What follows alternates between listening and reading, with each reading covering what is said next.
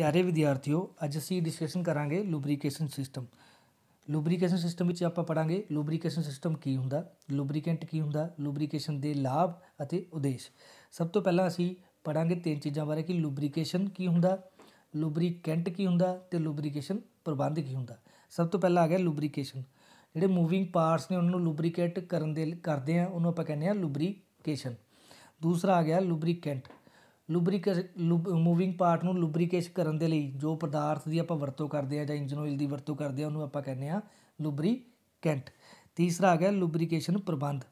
Engine ਦੇ ਵਿੱਚ ਜਿੰਨੇ ਵੀ ਮੂਵਿੰਗ ਪਾਰਟ ਨੇ, ਉਹਨਾਂ ਨੂੰ ਲੂਬਰੀਕੇਸ਼ਨ ਕਰਨ ਦੇ ਲਈ, ਕਰਨ ਦੇ ਲਈ ਜੋ ਜਿਹੜੇ ਮੈਥਡ ਦੀ ਆਪਾਂ ਯੂਜ਼ ਕਰਦੇ ਆ ਉਹਨੂੰ ਆਪਾਂ ਕਹਿੰਦੇ ਆ ਲੁਬਰੀਕੇਸ਼ਨ ਪ੍ਰਬੰਧ।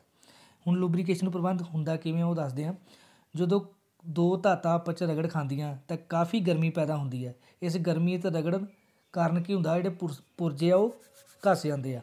ਇਸ ਗਰਮੀ ਤੇ ਰਗੜ ਤੋਂ ਬਚਣ ਦੇ ਲਈ ਅਸੀਂ ਲੂਬਰੀਕੇਸ਼ਨ ਆਇਲ ਦੀ ਵਰਤੋਂ ਕਰਦੇ ਹਾਂ।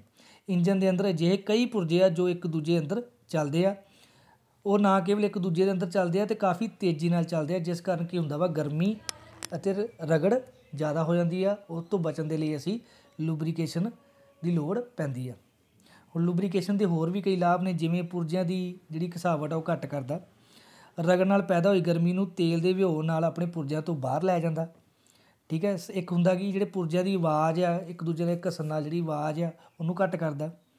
ਠੀਕ ਹੈ, ਇੱਕ ਹੋਰ ਹੈ ਲੂਬਰੀਕੇਟਿੰਗ ਆਇਲ ਇੱਕ ਪੁਰਜੇ ਨੂੰ ਸੀਲ ਕਰਕੇ ਰੱਖਦਾ, ਜਿਵੇਂ ਪਿਸਟਨ ਦੇ ਉੱਪਰ ਲੱਗੇ ਹੋਏ ਰਿੰਗਾਂ ਨੂੰ ਸਿਲੰਡਰ ਦੇ, ਸਿਲੰਡਰ ਵਾਲ ਦੇ ਨਾਲ, ਜਿੰਨਾ ਕਿ ਹੁੰਦਾ ਗੈਸਾਂ ਲੀਕ ਨਹੀਂ ਹੁੰਦੀਆਂ।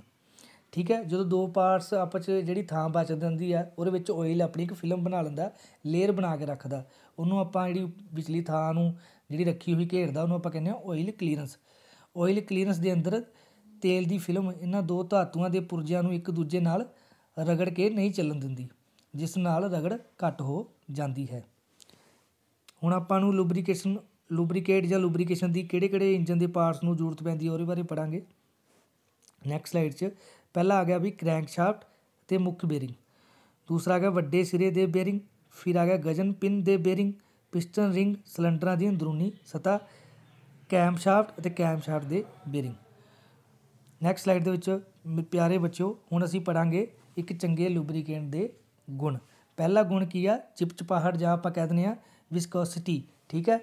ਇਹਦੇ ਵਿੱਚ ਕੀ ਹੁੰਦਾ ਵਾ?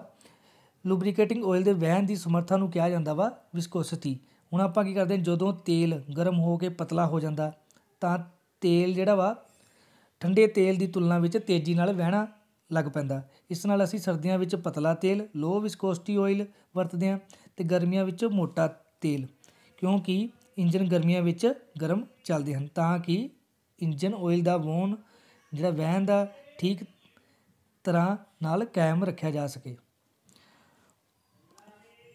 ਨੈਕਸਟ ਆ ਗਿਆ ਪਿਆਰੇ ਬੱਚੋ ਪਦਾਰਥ ਸਥਿਰਤਾ ਜਾਂ ਫਿਜ਼ੀਕਲੀ ਸਟੇਬਿਲਟੀ ਪਰ ਇਹ ਸਟੇਬਿਲਿਟੀ ਕੀ ਹੁੰਦਾ ਵਾ? ਵਰਤੋਂ ਵਿੱਚ ਆਉਣ ਵਾਲੇ ਘੱਟੋ ਘੱਟ ਤਾਪਮਾਨ ਅਤੇ ਵੱਧ ਤੋਂ ਵੱਧ ਤਾਪਮਾਨ ਦੀ ਸਥਿਤੀ ਨੂੰ ਵਿੱਚ ਲੂਬਰੀਕੇਟਿੰਗ ਆਇਲ ਦੀ ਸਥਿਰਤਾ ਕਾਇਮ ਰਹਿਣੀ ਬਹੁਤ ਜ਼ਰੂਰੀ ਹੈ।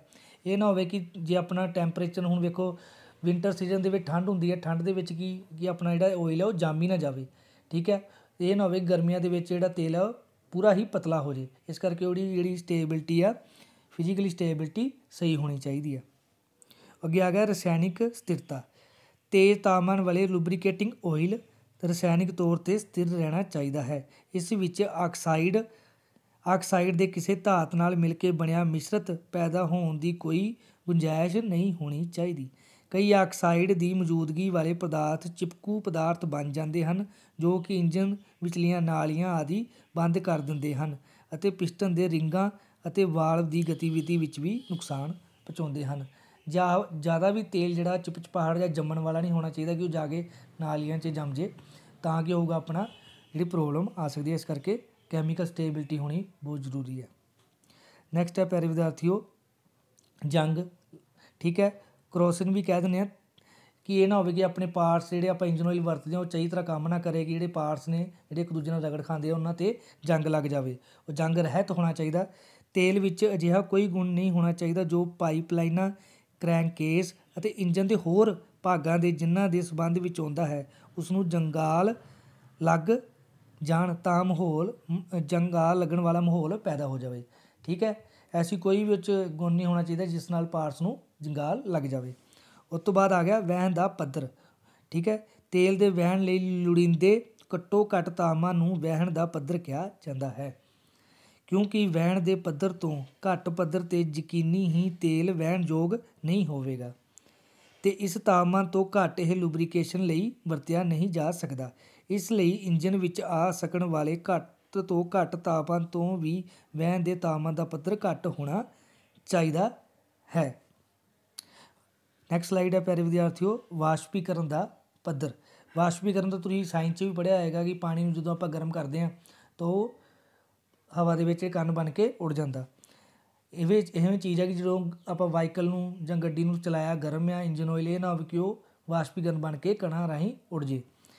ਤੇਲ ਦੇ ਵਾਸ਼ਪੀਕਰਨ ਦਾ ਪੱਧਰ, ਲੋੜੀਂਦੇ ਪੱਧਰ ਜਿੰਨਾ ਹੋਣਾ ਚਾਹੀਦਾ ਹੈ, ਤਾਂ ਕਿ ਵਾਹਨ ਦੀ ਆਮ ਵਰਤੋਂ ਵੇਲੇ ਪੈਦਾ ਹੋਣ ਵਾਲੇ ਤਾਪਮਾਨਾਂ ਦੌਰਾਨ ਤੇਲ ਵਾਸ਼ਪੀਕ੍ਰਿਤ ਕਣਾਂ ਨੂੰ ਉੱਡ ਜਾਣ ਤੋਂ ਰੋਕਿਆ ਜਾ ਸਕੇ। ਇਹ ਨਾ ਹੋਵੇ ਕਿ ਉਹ ਵਾਸ਼ਪੀਕਰਨ ਹੋ ਕੇ ਜਿਹੜਾ ਇੰਜਨ ਆਇਲ ਆ, ਉਹ ਉੱਡ ਜੇ। ਘੱਟ ਤੋਂ ਘੱਟ ਲੋੜੀਂਦੇ ਵਾਸ਼ਪੀਕਰਨ ਦੇ ਪੱਧਰ ਤੋਂ ਵੱਧ ਪੱਧਰ ਕੋਈ ਯੋਗ ਭੂਮਿਕਾ ਨਹੀਂ ਨਿਭਾਵੇਗਾ। ਵਾਸ਼ਪੀਕਰਨ ਦਾ ਪੱਧਰ ਲੁਬਰੀਕੇਟਿੰਗ ਆਇਲ ਦਾ ਉਹ ਘੱਟੋ ਘੱਟ ਤਾਪਮਾਨ ਹੁੰਦਾ ਹੈ, ਜਿਸ ਤੋਂ ਲੋੜੀਂਦੇ ਵਾਸ਼ਪੀਕ੍ਰਿਤ ਕਣ ਪੈਦਾ ਹੁੰਦੇ ਹਨ ਅਤੇ ਹਵਾ ਨਾਲ ਰਲ ਕੇ ਇਹ ਵਿਸਫੋਟਿਕ ਮਿਸ਼ਰਣ ਪੈਦਾ ਕਰਦੇ ਹਨ। ਜੇਕਰ ਇਸ ਤੇਲ ਦਾ ਤਾਪਮਾਨ ਅਗਲੇ ਪੱਧਰ ਤੇ ਚਲਾ ਜਾਵੇ ਤਾਂ ਇਹ ਅੱਗ ਦੀ ਮੌਜੂਦਗੀ ਵਿੱਚ ਲਗਾਤਾਰ ਬਲਣ ਲੱਗ ਪਵੇਗਾ। ਇਹ ਤਾਪਮਾਨ ਨੂੰ ਬਲਣ ਦਾ ਪੱਧਰ ਕਿਹਾ ਜਾਂਦਾ ਹੈ। ਨੈਕਸਟ ਆ ਗਿਆ ਆਪਣਾ ਸਫ਼ਾਈ। ਤੇਲ ਲੋੜੀਂਦੇ ਮੁਤਾਬਕ ਸਾਫ਼ ਅਤੇ ਆਪਣੀ ਸਫ਼ਾਈ ਬਣਾਈ ਰੱਖਣ ਯੋਗ ਹੋਣਾ ਚਾਹੀਦਾ ਹੈ ਤਾਂ ਕਿ ਕ੍ਰੈਂਕੇਸ ਤੇਲ ਵਾਲੀਆਂ ਨਾਲੀਆਂ ਵਿੱਚ, ਨਾਲੀਆਂ ਸਾਫ਼ ਰੱਖੀਆਂ ਜਾ ਸਕਣ। ਇਸ ਦੇ ਨਾਲ ਹੀ ਇਸ ਵਿੱਚ ਸ਼ੈਲ ਕੱਟ ਵੀ ਹੋਣੇ ਚਾਹੀਦੇ ਹਨ ਜੋ ਕਿ ਤੇਲ ਦੇ ਸੰਚਾਰ ਦੌਰਾਨ ਇੰਜਨ ਦੇ ਪੁਰਜਿਆਂ ਵਿੱਚੋਂ ਜਿਹੜੀਆਂ ਅਸ਼ੁੱਧਤੀਆਂ ਕੱਢਦੇ ਹਨ। ਇਹ ਅਸ਼ੁੱਧਤੀਆਂ ਤੇਲ ਵਿੱਚੋਂ ਛਾਨਣੀਆਂ ਫਿਲਟਰਡ ਵੀ ਜਾਈਆਂ ਸਕਦੀਆਂ ਹਨ ਜਾਂ ਤੇਲ ਦੀ ਬਦਲੀ ਵੇਲੇ ਤੇਲ ਦੇ ਨਾਲ ਹੀ ਕੱਢੀਆਂ ਜਾ ਸਕਦੀਆਂ ਹਨ। ਨੈਕਸਟ ਸਲਾਈਡ ਦੇ ਵਿੱਚ ਆ ਲੁਬਰੀਕੈਂਟਸ ਦੀਆਂ ਕਿਸਮਾਂ। ਇਹ ਕਿਸਮਾਂ ਅਲੱਗ-ਅਲੱਗ ਨੇ। ਤੁਸੀਂ ਦੇਖਿਆ ਵੀ ਹੋਣਗੀਆਂ, ਇਹਨਾਂ ਦੀ ਕਿਸਮਾਂ ਜਿਵੇਂ ਇਹਨਾਂ ਦੀ ਅਵਸਥਾ ਦੇ ਆਧਾਰ ਤੇ ਠੋਸ ਲੁਬਰੀਕੈਂਟ ਜਿਵੇਂ ਗ੍ਰੇਫਾਈਡ ਲਿਖੇ ਹੋਏ ਨੇ, ਜਿਵੇਂ ਮਿੱਕਾ, ਠੀਕ ਹੈ, ਇਹ ਸਾਰੇ ਨੇ ਠੋਸ। ਸੈਕਿੰਡ ਆ ਗਿਆ ਸੈਮੀ ਸੋਲਿਡ ਜਿਵੇਂ ਆ ਗਰੀਸ, ਅਲਮੀਨੀਅਮ, ਠੀਕ ਹੈ, ਤਰਲ ਪਦਾਰਥ, ਲੁਬਰੀਕੈਂਟ ਜਿਵੇਂ ਕਿ ਖਣਿਜ, ਬਨਸਪਤੀ ਅਤੇ ਵੈਜੀਟੇਬਲ ਜਾਂ ਵੈਜੀਟੇਬਲ ਆਇਲ ਜਾਂ ਐਨੀਮਲ ਆਇਲ ਆਪਸ ਵਿੱਚ ਨਾ ਘੁਲਣ ਵਾਲੇ ਤਰਲ ਪਦਾਰਥਾਂ ਦਾ ਮਿਸ਼ਰਣ ਜਿਵੇਂ ਕਿ ਤੇਲ ਵਿੱਚ ਪਾਣੀ ਦਾ ਮਿਸ਼ਰਣ। ਤੇਲ ਵਿੱਚ ਪਾਣੀ ਨਹੀਂ ਘੁਲ ਸਕਦਾ, ਉਹ ਵੀ ਮਿਸ਼ਰਣ ਹੈ। ਸੈਕਿੰਡ ਆ ਗਿਆ ਇਹਨਾਂ ਦੀ ਉਤਪਤੀ ਦੇ ਆਧਾਰ ਤੇ। ਜਿਵੇਂ ਆ ਗਿਆ ਕੁਦਰਤੀ ਲੁਬਰੀਕੈਂਟਸ ਜਿਵੇਂ ਖਣਿਜ, ਬਨਸਪਤੀ, ਪਸ਼ੂ ਤੇ ਗ੍ਰੇਫਾਈਟ। ਬਨਾਵਟੀ ਕਹਿ ਦਿੰਦੇ ਆਪਾਂ, ਜਿਹੜੇ ਉਹ ਵੀ ਥੱਲੇ ਤਰੇ ਨੇ ਜਿਵੇਂ, ਠੀਕ ਹੈ? ਉਸ ਤੋਂ ਬਾਅਦ ਆ ਗਿਆ ਨੈਕਸਟ ਸਲਾਈਡ ਦੇ ਵਿੱਚ ਆ ਗਿਆ ਤੁਹਾਡਾ। ਚਿਪਚਿਹਾਹਟ ਜਾਂ ਵਿਸ਼ਕੋਸਟੀ ਦੇ ਵਿੱਚ ਭਿੰਨਤਾ ਦੇ ਆਧਾਰ ਤੇ, ਜਿਵੇਂ ਮਨੋ ਗ੍ਰੇਡ ਆਇਲ ਜਿਵੇਂ SAE 20 ਈ 30 SA 50 ਮਲਟੀ ਗ੍ਰੇਡ ਆਇਲ ਜਿਵੇਂ SAE 20 W40 ਏ 50 15 W ਆਦਿ। ਇਹਦੇ ਵਿੱਚ ਕੀ ਹੁੰਦਾ ਵਾ, ਤੁਸੀਂ ਪਹਿਲਾਂ ਵੀ ਦੱਸਿਆ ਹੋਊਗਾ ਕਿ ਮੌਸਮ ਦੇ ਹਿਸਾਬ ਦੇ ਨਾਲ ਆਪਾਂ ਇੰਜਨ ਆਇਲ ਯੂਜ਼ ਕਰਦੇ ਹਾਂ, ਸਰਦੀਆਂ ਦੇ ਵਿੱਚ ਅਸੀਂ ਪਤਲਾ ਆਇਲ ਯੂਜ਼ ਕਰਦੇ ਹਾਂ ਤੇ ਗਰਮੀਆਂ ਦੇ ਵਿੱਚ ਅਸੀਂ ਥੋੜਾ ਸੰਘਣਾ ਆਇਲ ਯੂਜ਼ ਕਰਦੇ ਹਾਂ। ਠੀਕ ਹੈ, ਪਿਆਰੇ ਵਿਦਿਆਰਥੀਓ, ਮੈਂ ਕੋਸ਼ਿਸ਼ ਕੀਤੀ ਤੁਹਾਨੂੰ ਲੁਬਰੀਕੇਸ਼ਨ ਸਿਸਟਮ ਬਾਰੇ ਪੜਾਉਣ ਬਾਰੇ ਹੋ ਸਕਦਾ ਤੁਹਾਨੂੰ ਸਮਝ ਆ ਵੀ ਹੋਵੀ, ਆ ਗਈ ਹੋਵੇਗੀ। ਜੇ ਤੁਹਾਨੂੰ ਕੋਈ ਚੀਜ਼ ਦੀ ਪ੍ਰੋਬਲਮ ਹੋਵੇ ਤਾਂ ਮੈਨੂੰ ਕਾਲ ਜਾਂ WhatsApp ਤੇ ਮੈਸੇਜ ਕਰ ਸਕਦੇ ਥੈਂਕ ਯੂ ਸੋ ਮਚ